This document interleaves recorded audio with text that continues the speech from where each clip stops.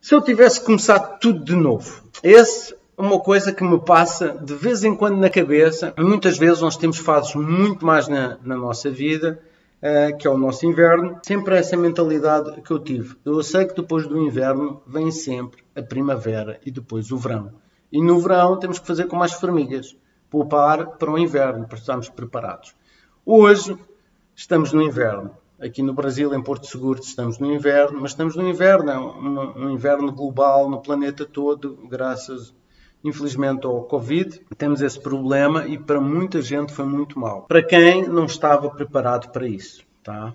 Eu, graças a Deus, eu agradeço isto todos os dias, que somos tão felizardos aqui em casa porque não estávamos preparados para isso. E já vos vou explicar o porquê de estar preparado, das minhas equipas estarem preparadas para isso. Reparem bem, com o Covid tem coisas boas que vai nos facilitar a revolução tecnológica digital online, chamem-lhe o que quiserem, isso vai ser muito bom, porque em grandes crises aparecem grandes soluções e hoje as empresas estão-se a adaptar enormemente para poderem uh, se adaptar a, ter trabalho em que as pessoas estão trabalhando em casa e fazendo exatamente o mesmo. Onde eu já ensino isso e promovia isso há mais de 10 anos, que era possível fazer. Em vez de perderem duas horas no tráfego para irem para um escritório e voltarem, elas podiam fazer esse trabalho em casa, com muito mais produtividade. Mas eu sei que muita gente gosta de controlar os seus funcionários lá, se não estiverem lá eles não produzem, mas isso não é verdade porque existem tecnologias que permitem controlar